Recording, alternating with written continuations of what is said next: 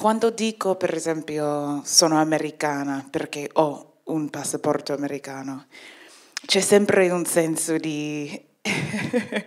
um, c'è sempre qualcuno che, che dice giustamente, ma, non, ma non tu non sei veramente americana perché sei nata a Londra. È vero, ma se, dic, se dico invece io sono inglese perché ho un passaporto inglese e son, sono nata a Londra, c'è sempre qualcuno che mi dice ma non parli davvero con un accento inglese o qualcosa del genere. È, è vero.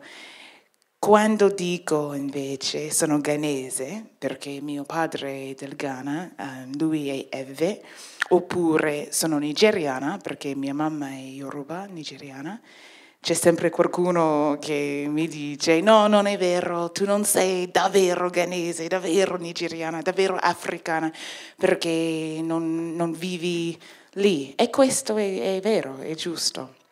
Ho pensato a un certo punto, vabbè, ma deve essere una parola che posso utilizzare per me stessa. E, essendo una scrittrice, ho inventato la parola. E Afropolitan per me semplicemente è, è nato da questo senso di, di non avere un'identità, che, che, fosse facile da, da, accettare per gli altri, non per me. Ammetto che io non sono tanto interessata di tutte queste etichette, ma so che esistono e sapevo in quel momento che io non, non, avevo, non avevo una che funzionava. E Afropolitan, quest'idea di essere un africano del mondo, un'africana con, un, con una sensibilità mondiale, globale, questo per me funzionava. Funziona ancora, sì. Mia mamma vive nel Ghana ormai da 15 anni e mio padre, che è ghanese, lui vive nell'Arabia Saudita. Non, non mi chiedo. Lasciate perdere. da 30 anni. Quindi la, la mia famiglia è davvero dispersa.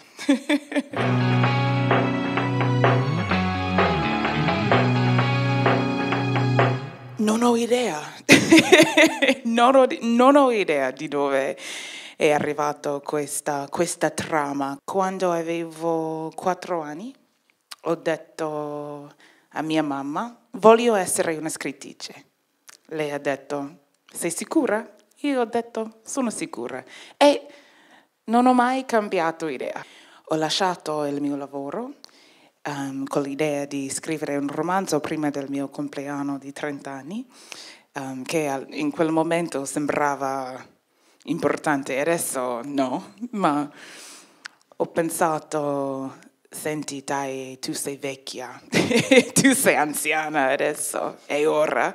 E quindi ho lasciato il mio lavoro completamente, avevo un, una cifra e ho deciso, ok, vivo con questi soldi, niente di più, e scrivo pieno tempo.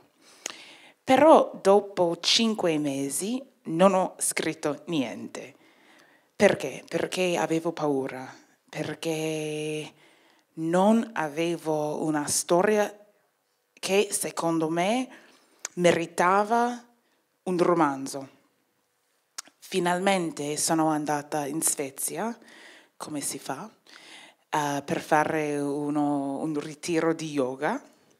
E mentre lì, in, um, sotto la doccia, ho ricevuto questo, quest'idea, quest, quest'ispirazione, questo momento di, non so, era come da nulla tutta la famiglia, tutta la trama, passato, presente, futuro, tutto chiaro in un momento e dovevo, dovevo lasciare il ritiro perché loro mi hanno detto che, scusa, non potevo utilizzare un laptop. Ho detto questo è un po' difficile perché sono una scrittrice, aspettavo 25 anni per questo romanzo. Dai, posso avere il mio laptop? Ma loro erano tedeschi, quindi hanno detto nine. e dovevo scappare e sono, sono andata invece a Copenaghen. Quando ho ricevuto l'idea e quando ho conosciuto questa famiglia, in quel momento ero sicura che questo è il mio primo romanzo. Sono andata a Copenaghen per cinque giorni e ho scritto 20 pagine e queste pagine non sono per niente diverse nel romanzo pubblicato. Sono esattamente, e, e infatti tutto è esattamente lo stesso.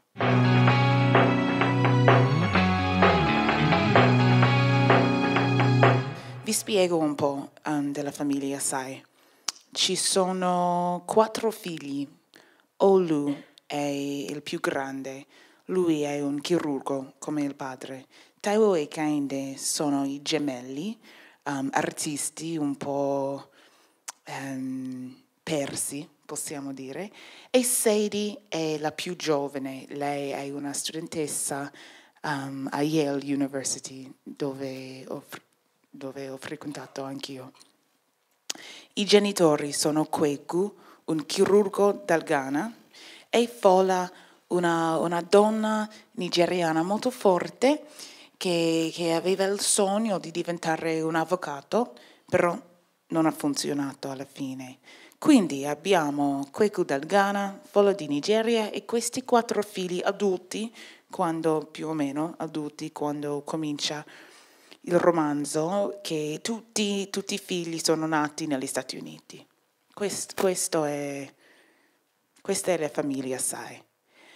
Ma in quest'anno, ehm, viaggiando, parlando di questo romanzo, sento sempre che questa è una famiglia di immigranti, oppure, peggio, che questo è un romanzo di immigrazione. Io non sono d'accordo non, ammetto che non posso capire in quale modo un immigrante sia un diverso tipo di umano oppure una famiglia di immigranti è un diverso tipo di famiglia. Io dico questo sinceramente perché alla fine quando pensiamo un po' sono sicura che diventa ovvio che una famiglia è un'idea stiamo creando tutto il tempo l'idea della nostra famiglia. Non perché mia mamma vive nel Ghana, mia sorella a New York e io a Trastevere, ma perché siamo diverse persone, siamo, nel nostro caso siamo diverse donne e, e penso che questa è la verità, questo è vero per tutte le famiglie, immigranti, non immigranti, eh, queste cose sono molto più concettuali, molto più flessibili. Direi la stessa cosa rispetto al rapporto tra una persona e un paese.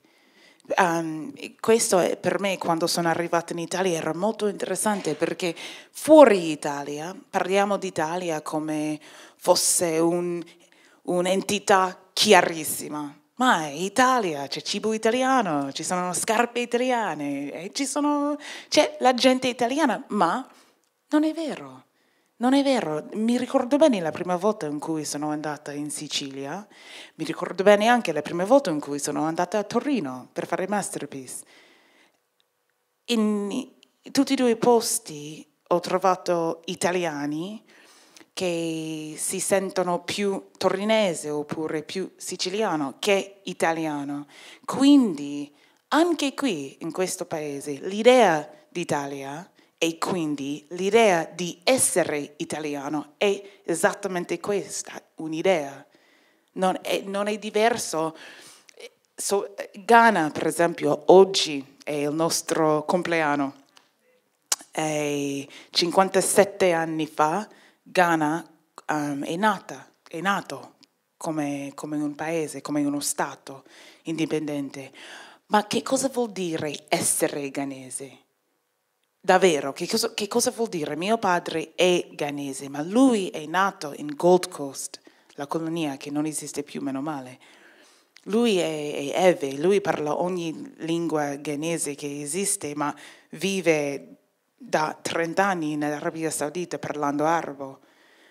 Sono sempre curiosa di capire che cosa vuol dire essere una cittadina, alla fine, un cittadino.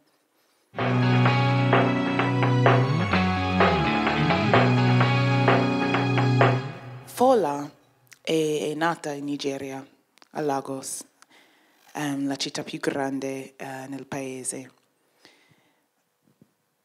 Ma in realtà lei, quando, quando la troviamo, lei, all'inizio del secondo parte del, del romanzo, e lei sta ricordando il suo passato, lei non dice che lei è nigeriana, lei dice invece che il suo padre è Yoruba, perché questa è l'identità importante per lei, per loro, per la vita, per la cultura, per la tradizione, per il cibo, per la lingua, e la mamma, che, che è morta, era Ibo e scozzese. Quindi Fola per se stessa è Yoruba, Ibo e scozzese, perché questi sono, questi sono i suoi genitori e in più queste sono le identità che, che contano in un senso. Questa, ripeto, questa è la lingua questa è la lingua che parla, questo è, questo è il cibo che mangia, questa è la musica che, che ascolta. È Yoruba, no, non, è, non è nigeriana, lei non è nigeriana per se stessa, ma quando arriva negli Stati Uniti, lei diventa nigeriana, peggio diventa africana perché c'era una guerra e il padre è morto e queste cose, come sappiamo, sono africane.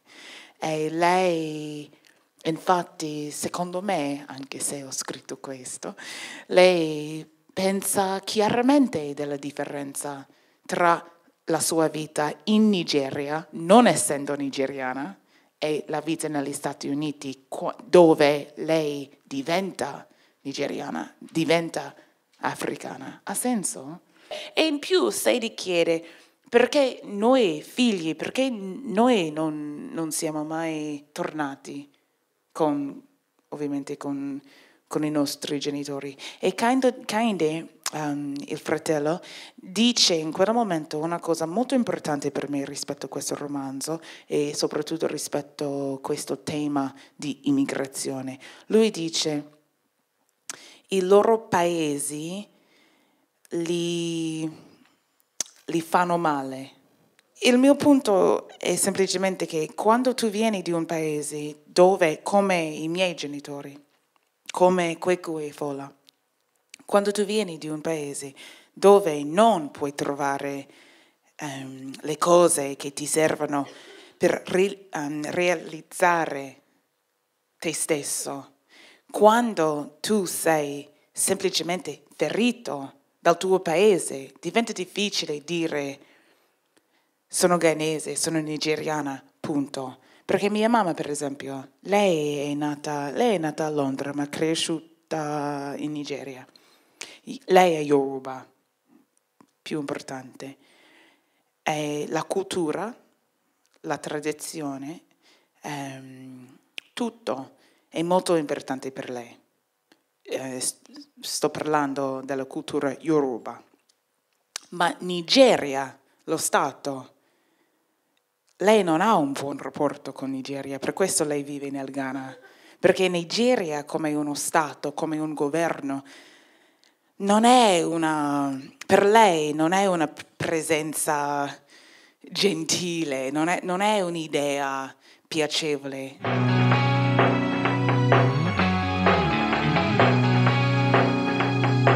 Per Kweku, la mamma vede, la mamma sa che questo uomo, questo, questo ragazzo, questo ragazzino è diverso.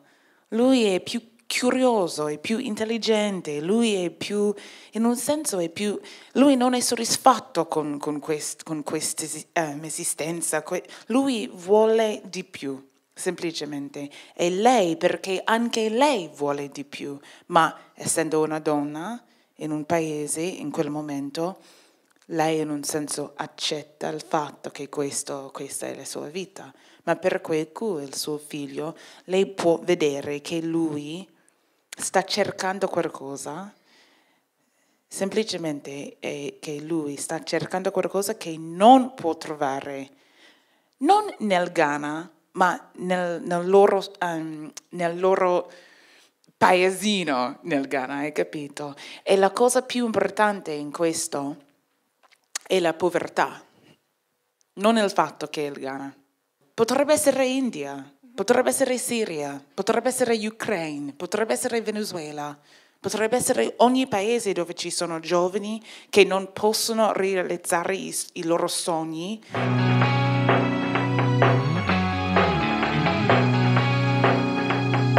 Stavo tornando a Roma e una mi ha detto, come un complimento, devo dire. Ma dai, tu sei Thais Lassi? Scusa, devo dire che tu sei davvero bella. E infatti è ovvio a me che, che la tua mamma deve essere una parte scozzese perché la tua bellezza è così raffinata, quindi ovviamente tu non puoi essere 100% africana. Che bella che sei! Scusami? No, davvero, davvero, lei ha detto, guarda il tuo naso, la faccia, è, è una bellezza che, che non si trova, eccetera, eccetera, eccetera. Io ho detto, signora, lei pensa che um, c'è una bellezza particolare al continente dell'Africa? Il continente dell'Africa con 5, 55 diversi paesi, con eh, eh, quanto? 4.000 diverse lingue, secondo, secondo lei c'è solo uno tipo di bellezza che, che troviamo in, in, quella parte del mondo? Lei ha detto, ah no, ma non, non, non voglio essere razzista. È, è solo che, no, no, no, sto, sto, dicendo solo che tu sei molto bella. Ma quando, quando abbiamo parlato ancora di più, è venuto fuori che lei pensava, come molti, che esiste una razza di umani neri che ha, un, eh, per cui c'è un massimo livello di bellezza, dopo di cui una deve essere un'altra razza per essere così bella, hai capito? E per, per lei era un... Ho visto, ho visto e mi sentivo un senso di empatia per lei. Per lei era molto difficile accettare che il suo concetto è razzista per definizione, perché è, è, è basato, è, è, fondato, è based on the idea? Sì, è fondato. È fondato, esatto, sull'idea che esiste una razza nera e non esiste.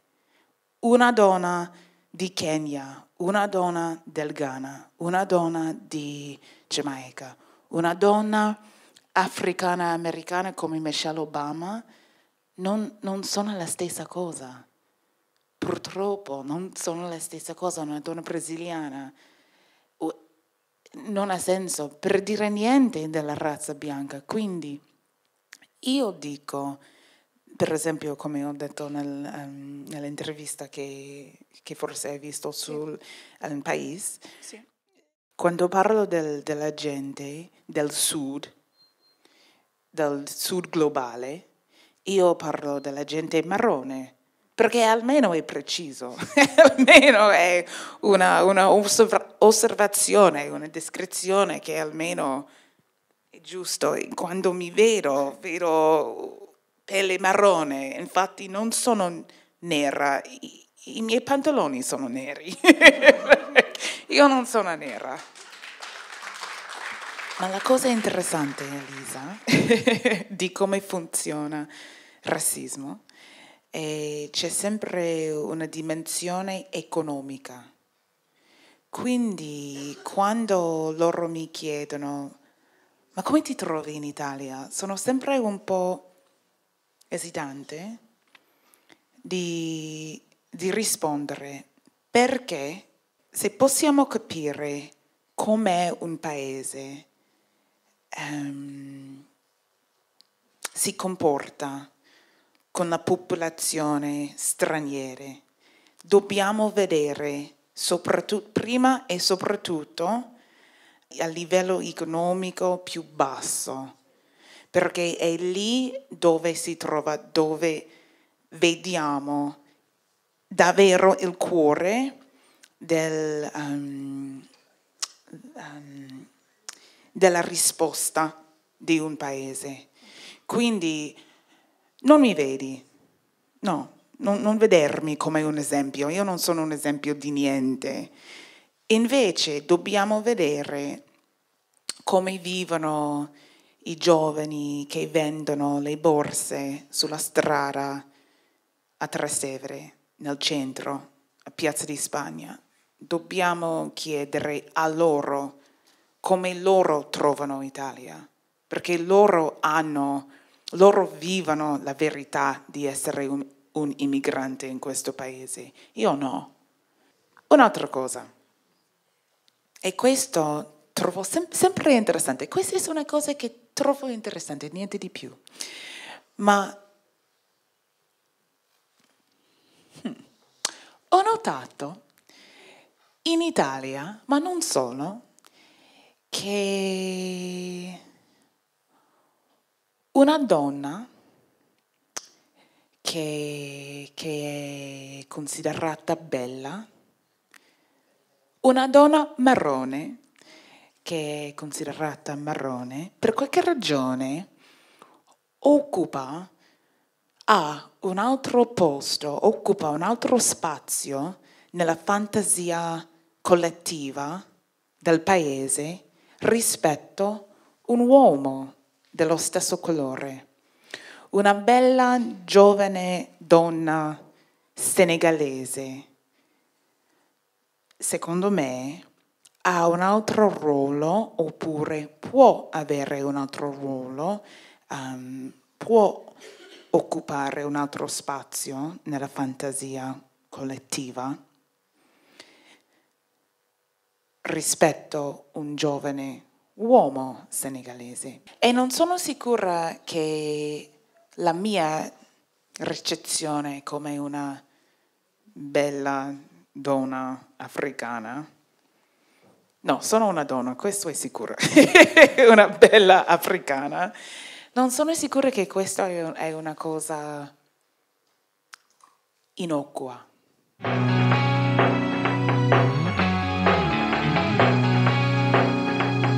Quando sono arrivata in Spagna, ho visto il mio romanzo con una sticker che ha detto la nuova voce d'Africa, la nuova voce d'Africa. Io ho detto c'è, anche una nuova voce di Europa? Tutto il, tut, ma tutto il continente. E, e, chi sarebbe? Un francese? Una tedesca? Beh, e loro hanno riso e ho detto no, spiegami come come possiamo scegliere la voce singolare di un continente? E loro hanno detto, come sempre, no, no, dai, era un complimento. Eh, accetto questo, accetto questo. No, so bene che, che l'intenzione è pura, ma per parlare, parlare dell'Africa come fosse un, un monolitico posto. Ah. eh, sì. che posso dire? Tesori, che posso dire? Io, io dico semplicemente che è pigro, è pigro, perché se possiamo un po' più attenti, notiamo che è un continente incredibilmente, incredibilmente diverso ci sono molte lingue, molte culture, molti diversi stili di governo, eccetera, eccetera, eccetera, eccetera.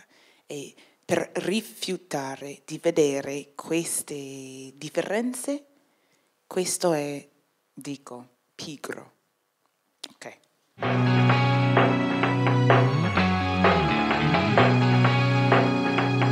la stessa cosa è successo in ogni paese qui in Europa. Um, in, in, Germania è diese Dinge geschenkt einfach so. Apprezzo il fatto che almeno le case erano molto oneste con me, dicendo, senti, Tai, sei il titolo è, incredi- è incredibile che questo succede um, ancora. Ma se utilizziamo Ghana Must Go in Italia, ha detto Einaudi, i lettori italiani penserebbe che il libro parla di, della povertà, di, di guerra, di, di, di, ogni roba brutta che si trova nell'Africa. E questo non è vero, in realtà il tuo romanzo parla di una famiglia, d'amore, eccetera, eccetera, eccetera. Quindi non possiamo utilizzare il nome di un paese africano per questo romanzo, perché i lettori saranno confusi, indifferenti, indifferenti. E pensavo all'inizio che no, questo non è vero, no, non oggi, ma quando ho cominciato um, la mia tournée ho trovato che in realtà è così. Accetto questo logico, ho capito che questo è dobbiamo vendere libri, eccetera, eccetera, ma mi sento un po', un po', un po triste per questo. Grazie. Grazie Taio.